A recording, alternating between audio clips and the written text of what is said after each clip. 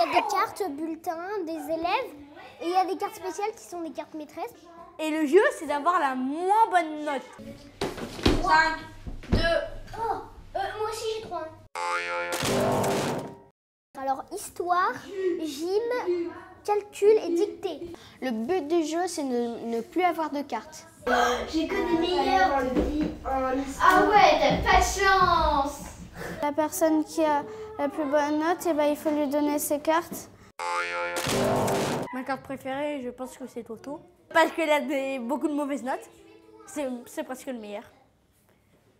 Sauf en gym. Ma carte préférée, c'est la maîtresse. Moi c'est Toto troisième trimestre. Parce que en fait elle est nulle en tout. Et donc c'est un outil de survie. Deux au premier trimestre il il était 5, 5. Bah, euh, c'est entre C'est entre nous deux, moi je me mets ça.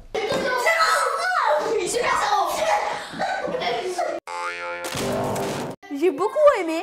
Bah, j'ai pas aimé quand je perdais. C'est très amusant. Ça nous apprend que les pires notes peuvent nous aider un petit peu.